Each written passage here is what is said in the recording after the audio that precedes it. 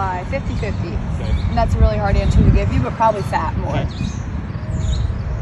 Get in there now. Yeah, you gotta open the face like, wait, yeah, yeah. Way more. Yeah, then aim a little left.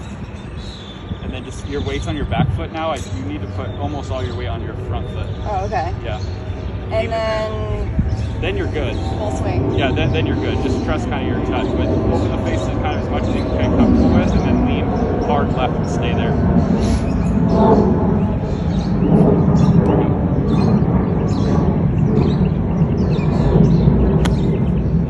Went back on your way back. I probably did, yeah. Kind of like reverted. But if I you do that up- thing where I set up in transfer. here.